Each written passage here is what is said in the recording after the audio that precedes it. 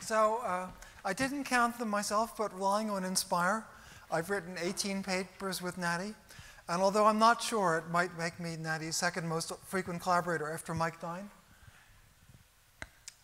Uh, and if I'd been giving a talk of reminiscences about things we've worked on, I thought about three I probably would have emphasized. One would be our work on worldsheet instantons, and then uh, n equals 2 super Yang-Mills theory, and then string theory and non-commutative geometry. And maybe if I'd boiled it down to one, I probably would have had to pick n equals 2 super Yang-Mills. But I thought rather than reminiscences, it might be more appropriate today to talk about something current. And here there were also a couple of options because Nati and I have written two papers this year, uh, both involving things at the intersection of quantum field theory and condensed matter. So one could have considered a talk on one of those papers, but each one had some difficulty. So the problem with the talk on the second one is that Nati's given a lot of talks about it and can do it much better than I can. And it, anyway, it would be ridiculous for me to do it, especially with Nati here. And I considered somewhat more seriously the first one because I think it would make an interesting talk that I haven't given anywhere, so it would be new, basically. But there was one flaw, which is that I just couldn't see how to make that talk interesting to Nati.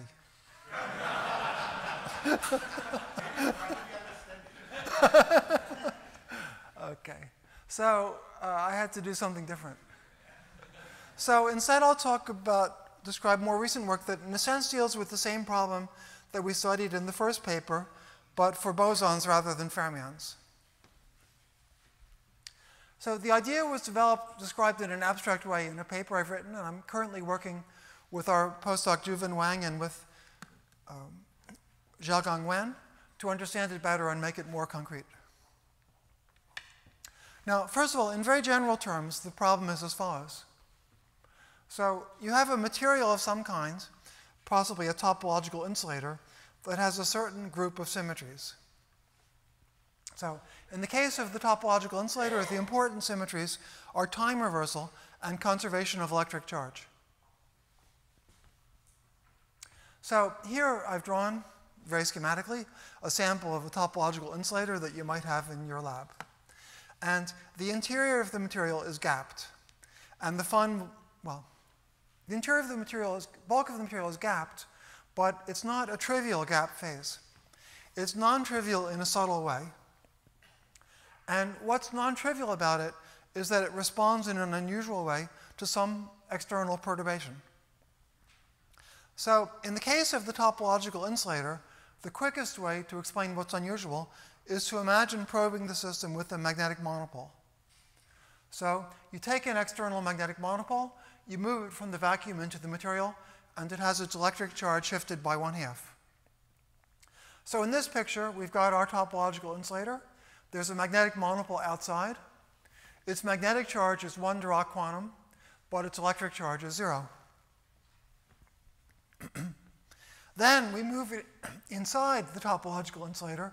Its magnetic charge doesn't change, but its electric charge shifts by E over 2.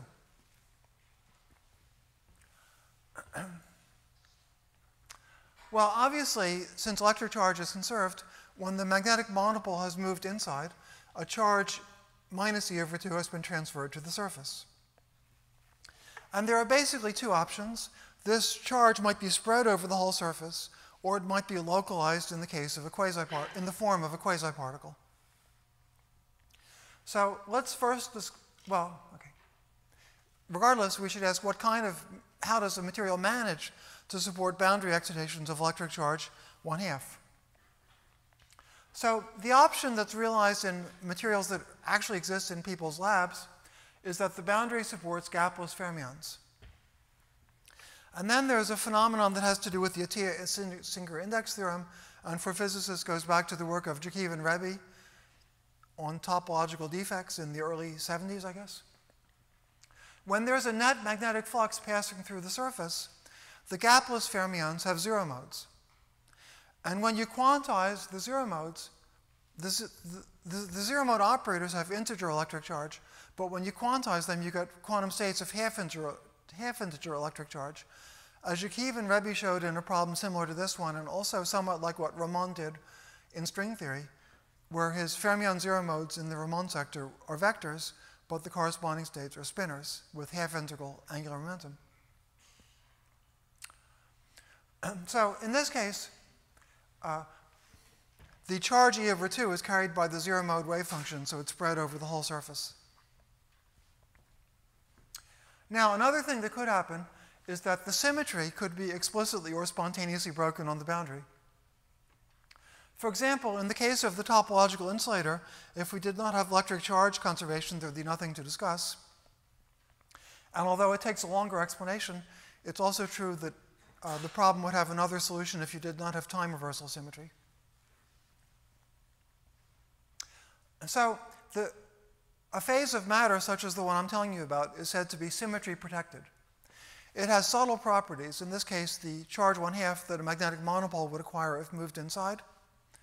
But the subtlety disappears if one is allowed to violate the symmetries. Now, there's a third thing which can happen also in theory, although not yet in practice in any known material, which is that keeping the symmetries it's possible for the boundary to be gapped. But if, when, the, when the boundary is gapped in a symmetry preserving fashion, what happens is that when the magnetic monopole passes through the surface, a quasi-particle of electric charge plus or minus E over 2 is created at the point where it, or very near where the monopole passed through the surface.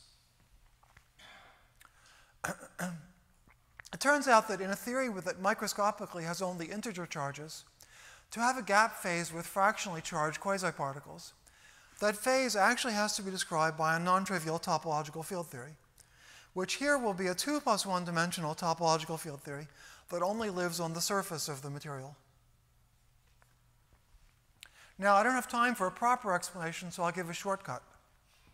We have a quasi-particle of electric charge E over 2 in the boundary, we imagine the boundary is a solid, we imagine the material is a solid torus or something. So there's a non-trivial one cycle in the boundary. We drag our quasi-particle around the boundary. And we'd like to know how the phase of the wave function changes. Well, for an integer charge quasi-particle, electromagnetism tells you that you take the exponential of i times the charge times the vector potential. And that's a well-defined phase that the particle gets in going around the loop. But if the charge was E over 2, then electromagnetism doesn't tell you what to do. You have to take the square root of something that was well defined, but electromagnetism will not tell you which of the two square roots to take. So what happens instead is that the vacuum has a property that tells you which of the two square roots to take. And since neither one is distinguished, there has to be more than one vacuum state of this material. So it's a gap system with more than one vacuum in a symmetry preserving fashion.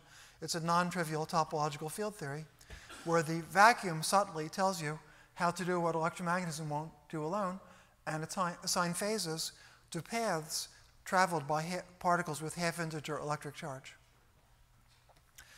so that's the best I can do now for very briefly explaining why gapped boundary states that preserve the crucial symmetries are associated to these non-trivial topological field theories.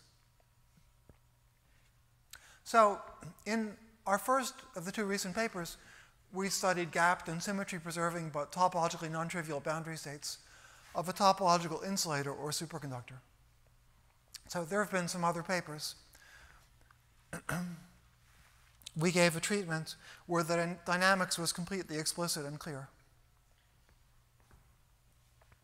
But instead, I'll today be talking about analogous boundary states for gap phases of bosons which likewise are symmetry protected topological phases, which, as I've tried to explain, means that the bulk theory is gapped but has a global symmetry G that in some sense is realized in an unusual fashion that forces unusual boundary behavior. So for the topological insulator, the symmetry was time reversal and electric charge conservation, and the there are various things that could have been explained, but the signature I gave you of the unusual behavior was the half integral charge deposited on the surface when a monopole passes through the surface. In our other examples, the symmetry might be different, the unusual behavior is a little bit different, but we always have gap phases that are in some sense unusual, and in particular have unusual boundary behavior. Now, there's a systematic approach to such phases, which uses group cohomology and sort of involves applying to this kind of problem what Robbert Dijkgraaf and I did a long time ago in Chern-Simons theory for a finite gauge group. But the formulas are a little bit abstract, and it's difficult to make them understandable on the fly. And I didn't feel like trying to use my 40 minutes to make you wade through some formulas involving group cohomology. Uh, before the systematic approach was discovered, three of the same authors uh, described a particular example in a very explicit way. They called it the CZX model, a name we'll come to. This was an example with global symmetry Z2 in two space, one time dimension. And it was constructed by hand, not with any fan fancy use of group cohomology. And that comes as a certain cost because it's in two plus one dimensions, and some of the important properties really only have their generic behavior starting in three plus one dimensions. Also, uh, following the elementary explicit approach has the virtue that we'll draw pictures instead of talking about cohomology groups. But um, it'll involve a very explicit description of one model rather than a systematic approach to a whole class. So in the long run, the general approach is more powerful, but it's nice to have an explicit intuitive example, and that's what we'll be hearing about today. So I should say that in my work with Wang and Wen, we use the abstract approach as well as the concrete one. Also, here's a reference to a paper describing a gap boundary state for bosons in a special case. Now, our model is going to be on a two-dimensional square lattice, and each lattice site contains four qubits. So these large disks, the, the figure, by the way, is taken from the paper of Wan et al. describing the model. The large disk represents a lattice site. But since each lattice site contains four qubits, inside large disk are four smaller disks, each of which represents one qubit. And what the squares represent is something we'll get to later. But first, we're going to discuss what there is on a single lattice site. So if we have a qubit, we'll denote its states as 0 and 1. And there's a Z2 symmetry that acts on the four qubits on a site, but the way it acts is a little subtle. So we'll let xi be the operator that flips the ith qubit. and an obvious Z2 symmetry would be the product of all the x's, which I'll call x star. But here the Z2 symmetry will be defined a little bit differently. So the Z2 symmetry will act like this times plus or minus 1, where the sign will depend on which of the qubits are up or down. So we define an operator z for any qubit in the 1, 0 basis. And then if we're given two ij, if we're given two qubits i and j, we define the operator cz sub ij. Well, I think they called it controlled z by analogy to things in quantum computer science. So this operator simply acts as follows. If both states, if both qubits are in the one state, it acts as minus one.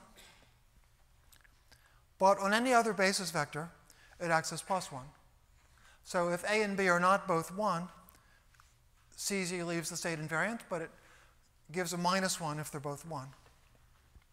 Another way to say it is that if the first qubit is in state one, we measure minus z of the second qubit and otherwise we do nothing. Now, I've drawn one of those sites, a large disk with four small disks inside. And when you have that picture, the four qubits are in cyclic order. So now we define the total CZ. Uh, throughout these slides, I'm going to use a star to mean a product of a lot of little operators. So the total CZ is the product of the CZ operators in cyclic order.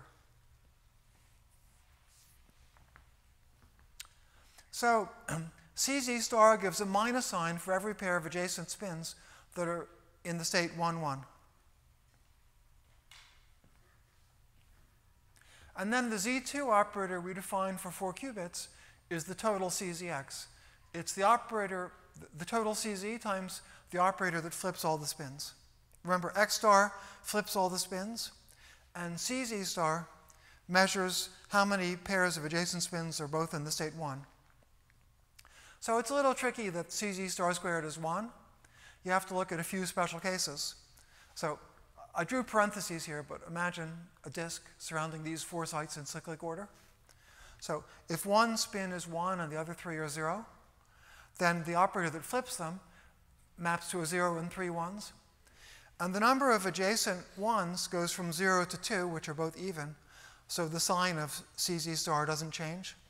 And since the sign of CZ star doesn't change, when you compute CZX star, well, you flipped all the spins twice, and you also got a plus 1 twice from CZ star, so the square is 1.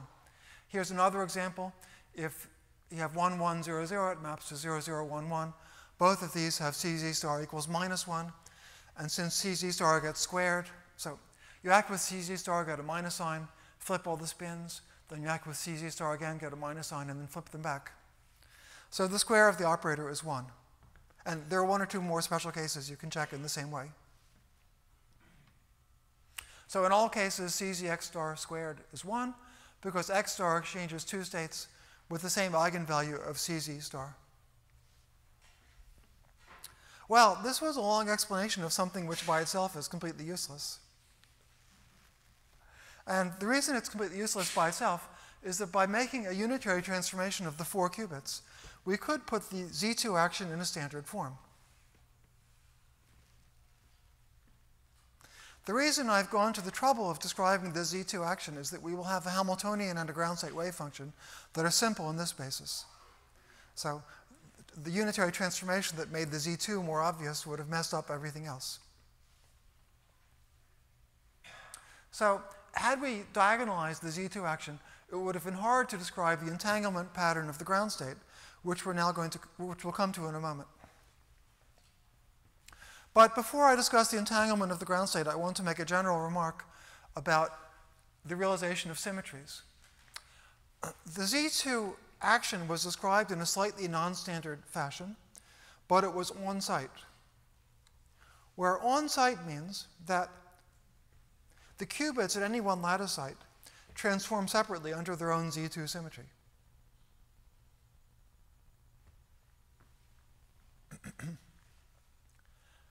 so now, in condensed matter physics, any microscopic global symmetry is going to be on-site, basically because of the locality of physics. Um, the Hilbert space, you can always think of a tensor product of Hilbert spaces associated to sites. You might want to include many uh, quantum states per atom, but it's not necessary to consider infinitely many. And likewise, the symmetries act on an individual site. That's important because any on-site global symmetry of a lattice system is anomaly free in the sense that it can be gauged.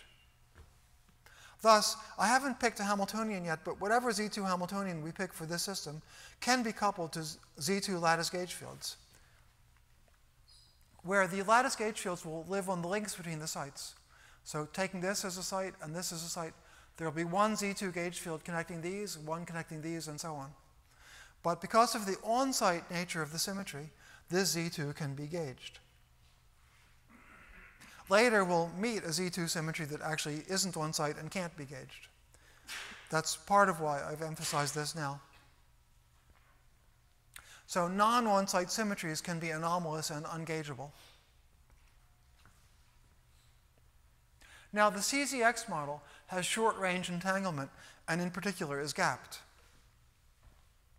But the entanglement is naturally described not in terms of sites, but in terms of plaquettes. So what they call plaquettes are these squares. So just like a site, a plaquette has four qubits, but it has four different qubits. A plaquette has one qubit from each of four different sites.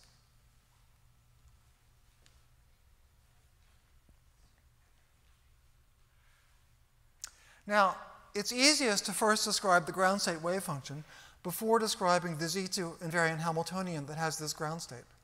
If I wrote the Hamiltonian, it would look artificial. but the wave function is very natural. I'm sure they started with the wave function and then hunted around for Hamiltonian with that ground state.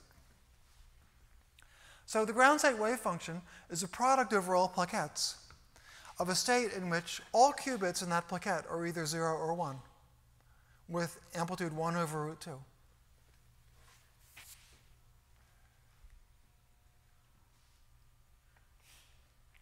So the four qubits in any one plaquette are highly entangled, but there's no entanglement between spins that are not in the same plaquette.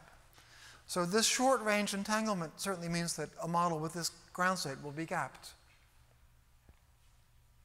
Now, what, Hamil okay, what Hamiltonian would have that ground state? Well, there's an obvious Hamiltonian that has that ground state. It's the sum over all plaquettes of an operator that flips all zeros to all ones and all ones to all zeros. It has eigenvalue 0 for any state where the four qubits are not equal in a plaquette. Because it can't flip them, it annihilates such a state because a state where some are 0 and some are 1 is orthogonal to this and orthogonal to this, so it's annihilated by h0. It's an eigenvector with eigenvalue 1. The sum of all 0 and all 1 has eigenvalue minus 1 for h as I've written, and the difference has eigenvalue plus 1. So the ground state is the state of all zeros plus all ones. But there's something wrong with that Hamiltonian, which is that it's not Z2 invariant. It has the obvious Z2 symmetry that just flips the spins. But it doesn't have the more subtle Z2 symmetry that we defined. And that's because, let's say we flip the spins in this plaquette. Well, that means we in particular flip this spin, but we don't flip these three. So some of the CZ operators linking these two and linking these two will change sign. So the obvious Hamiltonian was actually not Z2 invariant.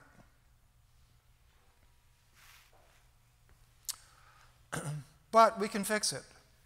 So this is this picture is not from their paper, so it's not as pretty. so uh, okay, here I've drawn a plaquette and I've drawn two adjacent spins that are not in the same plaquette. I've also partly drawn a site that contains these two and a site that contains these two. And suppose we agree that we're only going to flip these four spins if these two are equal. Well, you see, there's a CZ operator here and a CZ operator here, and flipping these four spins might change this one and might change this one. But if these two are equal, they'll change the same way. So if we agree to only flip these four spins when these are equal, then in fact, we do get a Z2 invariant procedure. So for each plaquette P, we let pi sub p be the projector onto states where all the adjacent pairs are equal. And then we take the same Hamiltonian as before, a sum over all plaquettes of what we had before, but we multiplied by pi sub p. So now we have an operator that commutes with CZX star and it has the same ground state as before. So now we have found a Z2 invariant model with this funny ground state.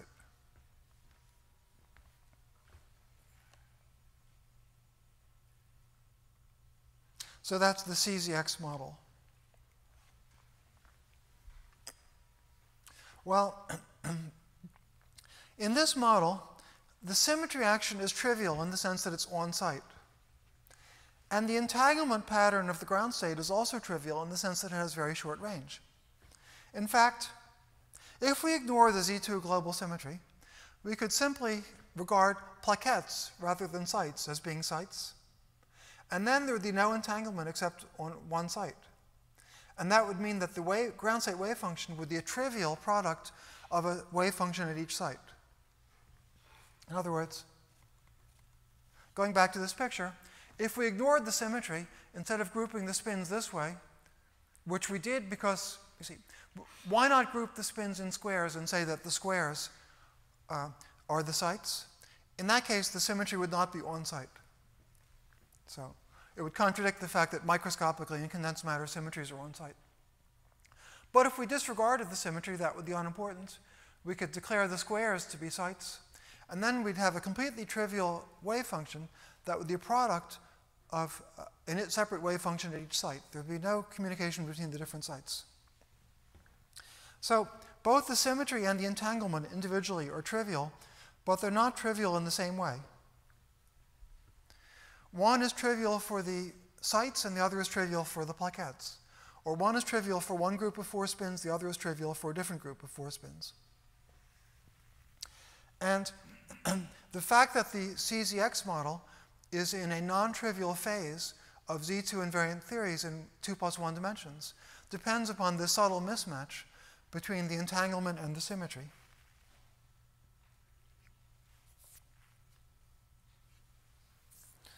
So, in fact, the symmetry pattern and entanglement pattern cannot be made trivial at once, and the model is in a topologically non-trivial phase of gap systems with Z2 symmetry.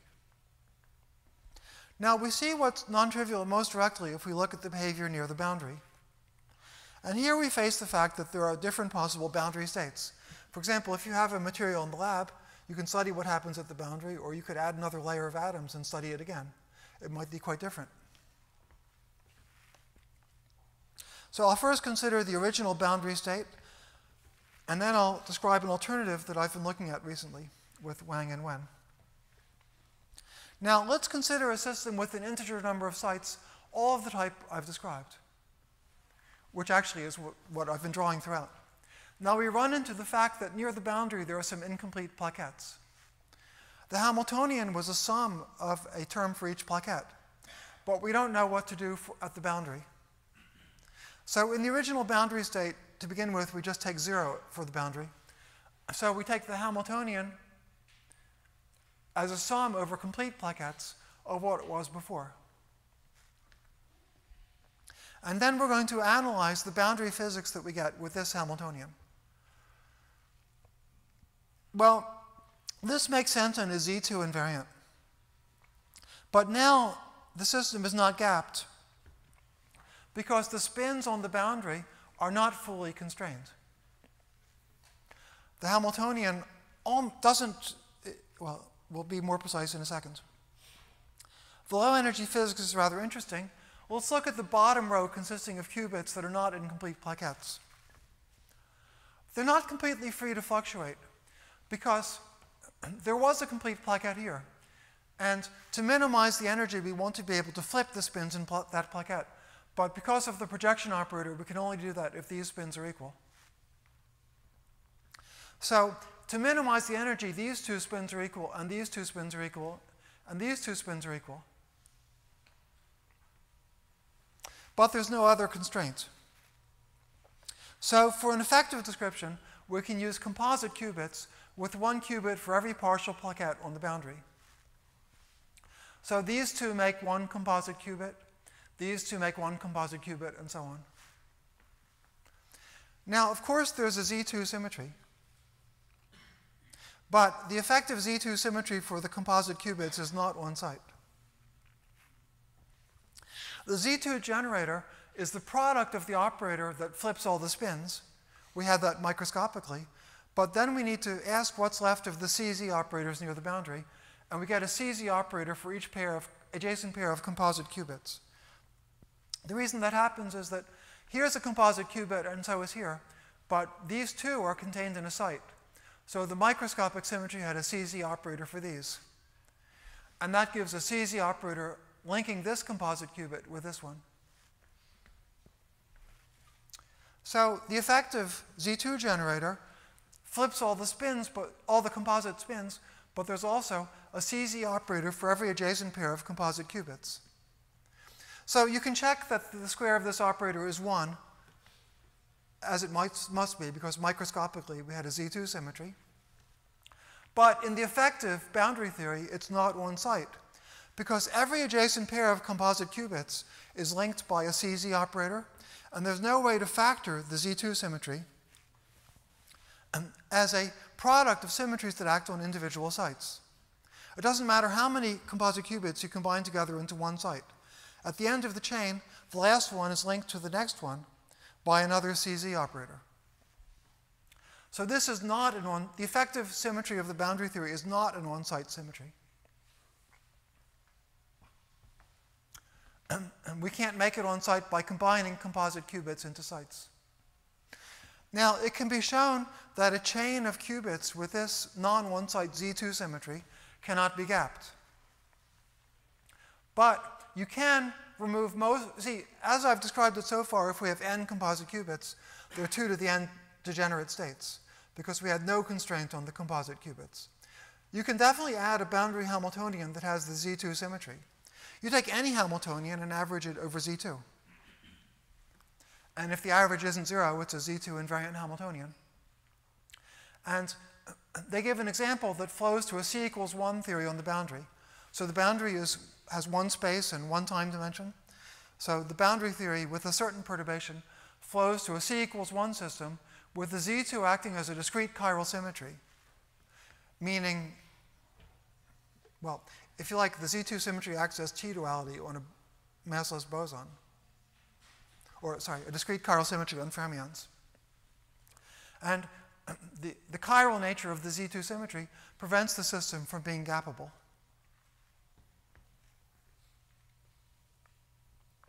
Now, there's much more to say about this boundary state, but I want to describe an alternative one. So the alternative state I'll describe will be another boundary state of exactly the same system.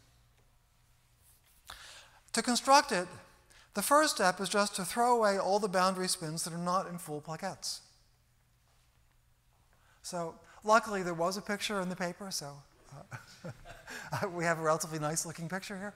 So uh, here we've got a bunch of partial sites, but near the boundary, we just throw away the spins that are not in complete. Sorry. Okay. Sorry. Here I've drawn a system with complete plaquettes only, no partial plaquettes.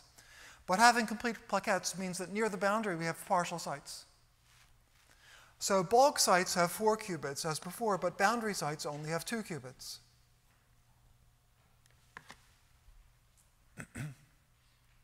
and there even are corner sites, or there, there might be corner sites with one qubit, but we will skip them today and just talk about the boundary sites, generic boundary sites.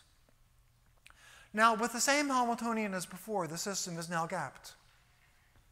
And the ground state wave function is the same. Now all the spins are in bulk plaquettes, complete plaquettes. And for each plaquette, we use the same ground state wave function as before, and it's the ground state as the same Hamiltonian as before. So, and moreover, it has the CZX star symmetry if we define this symmetry in a fairly obvious way for the partial sites. A partial site with two spins, we just take the CZ operator for those two spins as part of the definition of CZX star. Oh, I said this here. Okay. So for a boundary site with two spins, we define CZX for that site as being the operator that flips the two spins times the CZ operator of those two spins. We need to include the CZ here, and then if we do, the total CZX star, defined as a product over all bulk and boundary states, commutes with the Hamiltonian and generates a global symmetry. So what's wrong? The Hamiltonian is gapped, and it has the symmetry that we started with.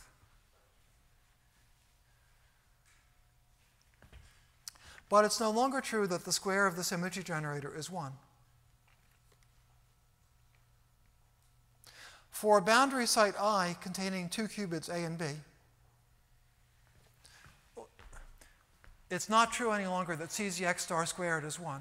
So I showed you uh, earlier that for a complete site, CZX squared is 1. But for a boundary site, it's not true that CZX squared is 1. I'll call WI CZX squared of the ith boundary site.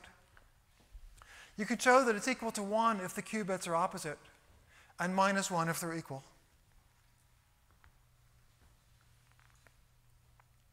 So WI is not 1, but its square is 1. So now I let W star be the product over the boundary of all the WI operators. So the global symmetry of the system is actually now Z4 because CZX star is a symmetry indeed, but its square is not 1. Its square is W star, where W star squared is 1, but W star itself is not 1. So here W star is a Z2 symmetry that acts only on the boundary. So we found a system with an emergent Z2 global symmetry on the boundary. So does that make us happy?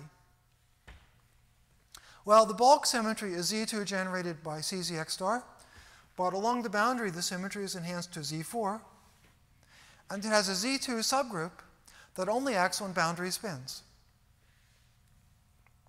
So this is a Z2 sub, uh, this is an extra Z2 symmetry that we didn't start with, but we found our boundary state had it. Is this physically sensible? Well, in condensed matter physics, one might find emergent global symmetries in the infrared, but they are always approximate symmetries explicitly broken by irrelevant interactions. You're never going to find an exact emergent global symmetry in condensed matter. What's wrong here is that the emergent symmetry will have to be exact because its generator is the square of CZX star, where by hypothesis, CZX star is an exact microscopic Z2 symmetry generator. So we can't break the emergent symmetry. We can't treat it as an asymptotic symmetry in the infrared. It has to be an exact symmetry. And that's unphysical in condensed matter. So we could, as I said, we couldn't explicitly break the new symmetry without also breaking the old symmetry, because the new symmetry is now part of the old symmetry, so to speak. There's only one way out. We have to gauge the Z2 symmetry generated by W star. I say one way out, there's only one way to, one apparent way to modify the model to make it physically sensible, at least in the context of condensed matter. As a mathematical exercise, it makes sense as I've pre presented it so far. There is a exotic SPT phase with Z2 symmetry. It has a gap symmetry preserving boundary with Z4 global symmetry. But in condensed matter, you don't want emergent global symmetry, so we should gauge the Z2 symmetry. In other words, the full symmetry now is Z4 generated by CZX star, but we're going to gauge the Z2 subgroup generated by CZX star squared. you might worry it can't be done, but actually it's straightforward. I want to stress, though, that in condensed matter, there's no problem to have emergent gauge symmetries that are exact. The canonical example is the fractional quantum Hall effect.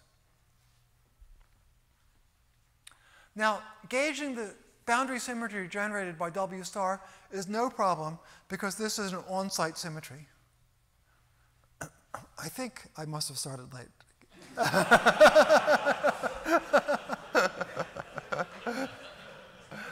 so we introduce a Z2 gauge field only on the boundary. On each link connecting two boundary sites, we have a Z2 valued field plus or minus 1. It's called a lattice gauge field. It's, well, people usually call it U, but I've called it V. So here's, here I've only drawn the boundary. So these are boundary sites, each of which contains two qubits. I label them by integers. I label the links between them by half integers. And each link has a Z2 gauge field, which is parallel transport from one end to the other. Since the group is Z2, we don't have to distinguish V and V inverse, and we don't have to orient the links. We can think of V as an operator that acts on a new qubit we can represent it by that matrix whose square is 1. We also need a discrete electric field E that flips V. e is also Z2 valued, its square is 1, and it changes the sign of V. And to do gauge theory, we need the Gauss law constraint. The Gauss law constraint says that the state is invariant under a gauge transformation acting at any site. Well, a gauge transformation at boundary site i acts on the matter fields by what I call wi, but it also flips the gauge fields at the links just before and after the ith site. The operator that flips the gauge fields is E. So, okay, if the site is here, we act by wi, but we also have to flip the gauge fields here and here. So the constraint operator at site i is wi times the product of the two e's for adjacent links. And in gauge theory, a physical state is invariant under gauge transformations, which for Z2 gauge theory that we're studying now means this. So as I told you, we could gauge the Z2 emergent symmetry and it's been done. But the product of all the constraint operators is the generator of the emergent Z2 because E squared equals 1. In other words, I take the product of all the constraint operators, so I write it out. The E's cancel in pairs, and I'm left with the product of all the W's. And the product of all the W's on the boundary is the Z2 global symmetry generator, the emergent Z2 symmetry generator. So if the lambdas leave the state invariant, so does W star. All I've done is to show you that on a compact manifold, which I've assumed because I didn't worry about ends of the chain, that on a compact manifold, uh, in gauge theory, a total uh, a state is neutral because the flux has nowhere to go. So a physical state is invariant under W star, so the symmetry that acts on physical states collapses from Z4 to the original Z2. So, well, we might feel happy, but we shouldn't rest on our laurels because we're not quite finished. We need to discuss the origin of the Z2 gauge symmetry that was an important part of the construction. And I'm anxious to discuss this because this talk is supposed to end with a small punchline. In condensed matter physics, there are no uh, microscopic gauge symmetries other than electromagnetism, so any other gauge symmetry is emergent. But what exactly does that mean? The following, here's a precise definition of emergent gauge symmetry that was suggested to me by Wen. First of all, in condensed matter physics, not only are the microscopic symmetries on site, but the Hilbert space is on site, meaning that the full Hilbert space is a tensor product of a Hilbert space for the ith site. By the way, the definition of a bosonic system is that this is an ordinary tensor product, not a Z2 graded tensor product. So I didn't say this before, but it was uh, implicit in my definition of an on-site symmetry. So an on-site symmetry is the product of symmetries that act on each HI. So anyway, a true microscopic model in condensed matter physics has the property that the Hilbert space is on-site. But in conventional lattice gauge theory, the Hilbert space is not on-site. We introduced a qubit that was associated to a link rather than a point. And there's no way to combine links into points or anything, because at the end of the chain, there would always be another link connecting you to the next point. So the Hilbert space in lattice gauge theory is fundamentally not on site.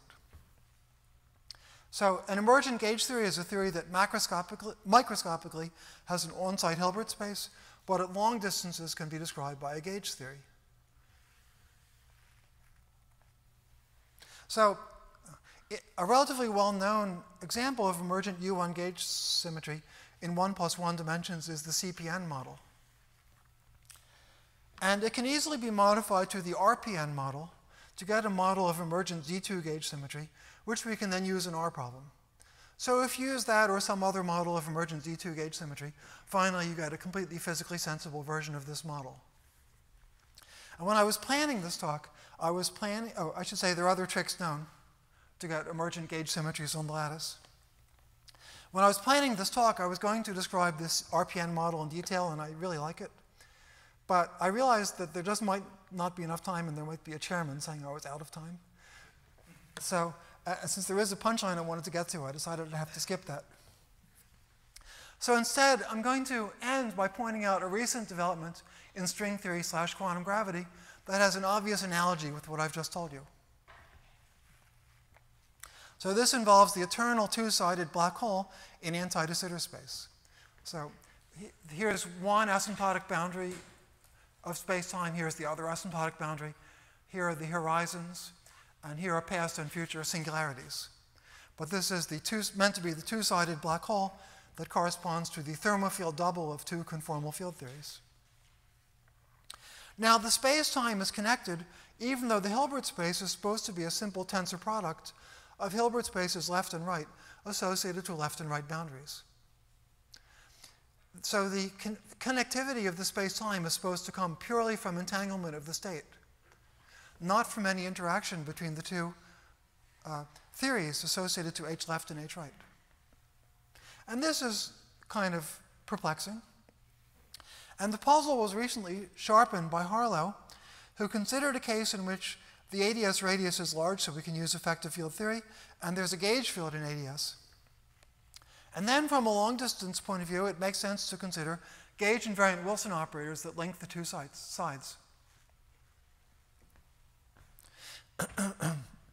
At the ends, they end on operators of the boundary theory that transform under the global symmetry charges. Now, this is a bit of a puzzle because if the Hilbert space is a tensor product, then any operator on the Hilbert space is a sum of products of operators on the left and operators on the right. That's just an algebraic fact about tensor products of two vector spaces. The space of matrices acting on a tensor product, a matrix need not be a simple product of an operator on one and an operator on the other, but it's a sum of such things. And the Wilson operator, to the naked eye, does not look like it's a sum of products of operators that act on only one side or the other. The resolution that was offered was that to restore factorization, we have to assume that any gauge field in ADS, that is, in a world of negative cosmological constant, is emergent.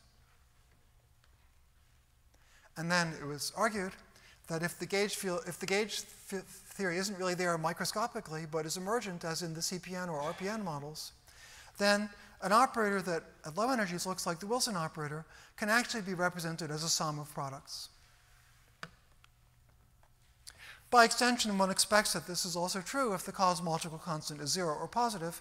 The claim would be that in a world with quantum gravity, all gauge fields are emergent.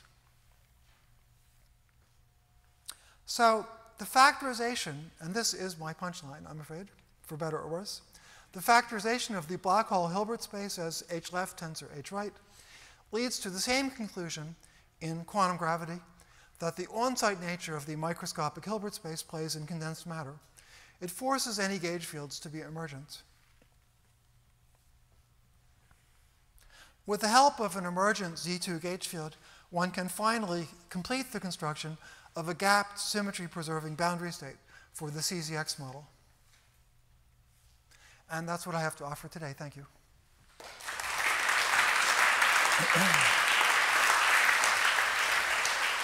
okay, a couple of questions. I think Tom, right?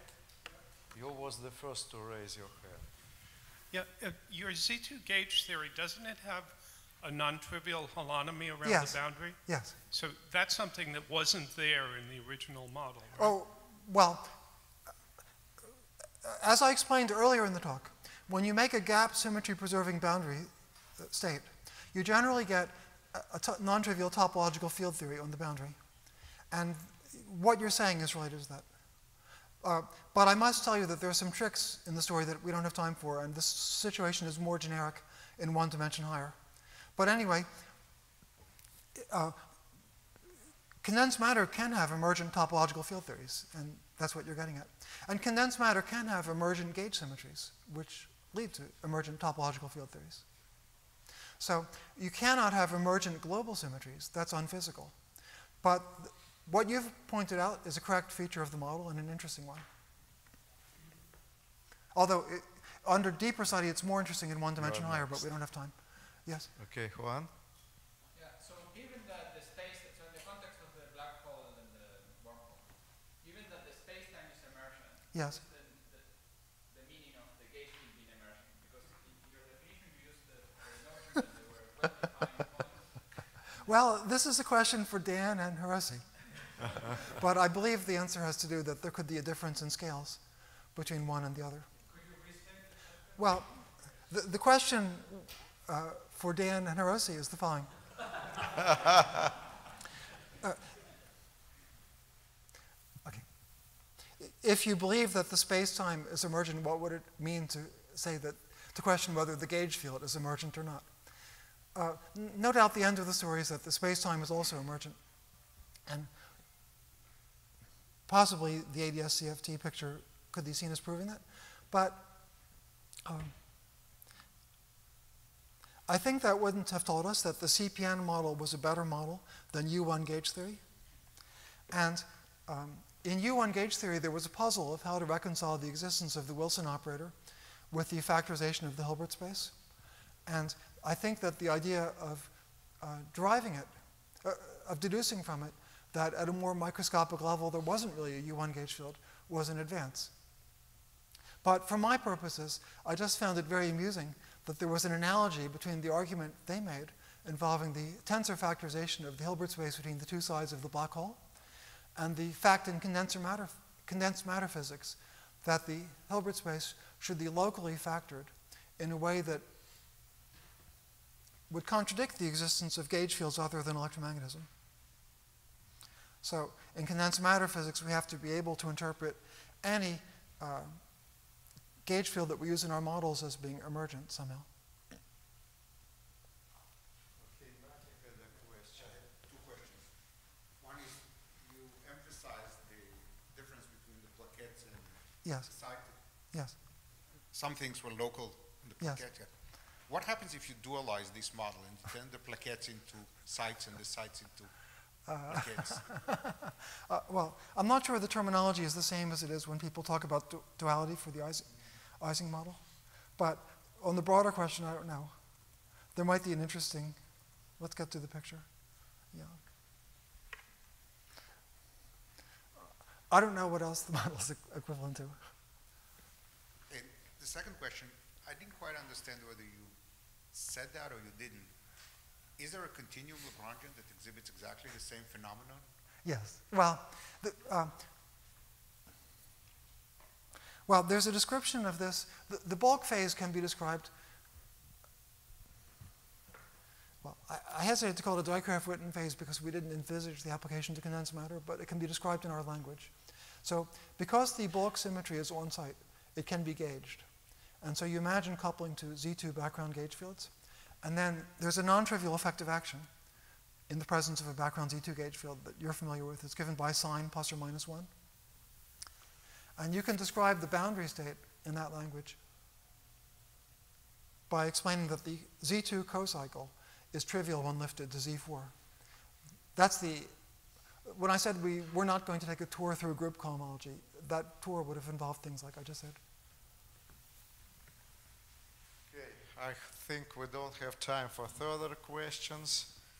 Let's thank the speaker again.